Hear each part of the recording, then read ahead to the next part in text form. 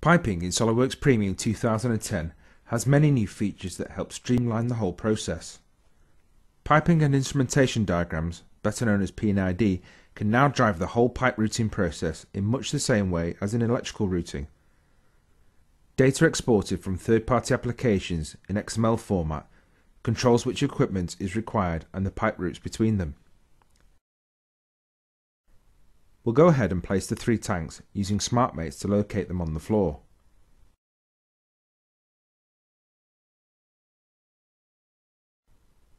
When placing components, a new triad appears on the part which controls the direction of rotation when pressing the Shift key and left or right arrows. Once placed, a refresh will flag all those items as green, letting us know the current status of what is placed and what is not. Next we'll go on to the pipe routes. The connection points are shown using guidelines, which can be turned into real pipes using AutoRoute. Each possible solution can be investigated before creating the pipe. We'll do the same with the other pipeline, but this also has an inline fitting designated in the P&ID. If the fitting is already in the assembly, it can be selected or assembled interactively.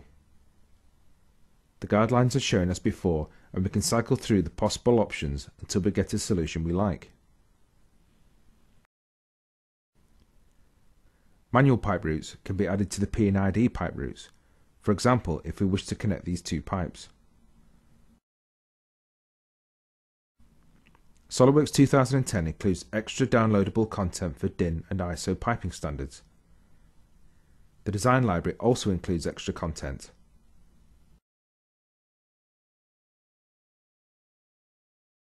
If we add a T on this pipe and rotate it, you may notice a big usability improvement. You no longer have to split the pipe route first before adding a fitting. We'll go ahead and do it again with a reducing T.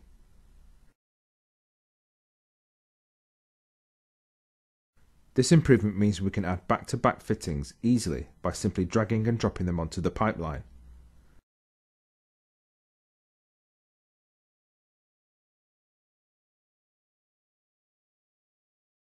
We'll finish this route off by adding a reducer and using AutoRoute to connect the ends.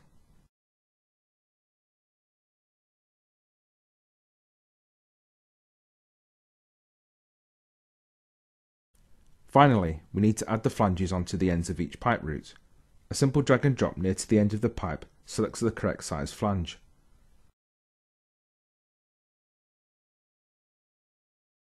We'll just repeat it for each pipe end.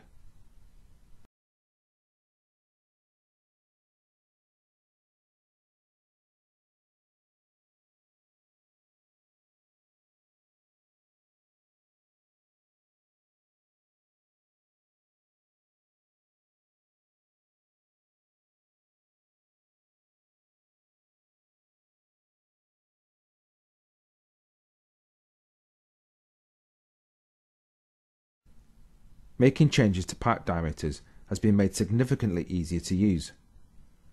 Selecting a pipe segment colour codes the fittings at each end and asks us what they need to be changed to.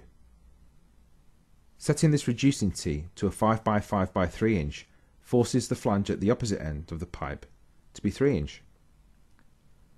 Pressing next visits each pipe segment in turn to allow us to propagate the changes around the pipe route. This flange is OK, so we'll press next. This flange needs to be a 3 inch and the reducer needs to be a 3 to 2 inch.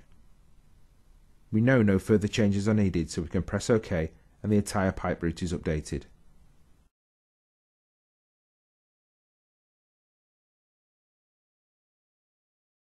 SOLIDWORKS can put the details of a pipe route in a format suitable for creating a piping isometric drawing using Alias Isogen.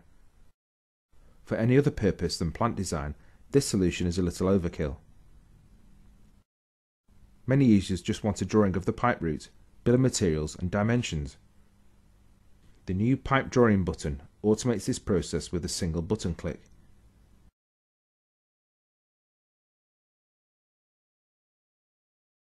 A little tidying up and the manufacturing drawing has been created with very little effort.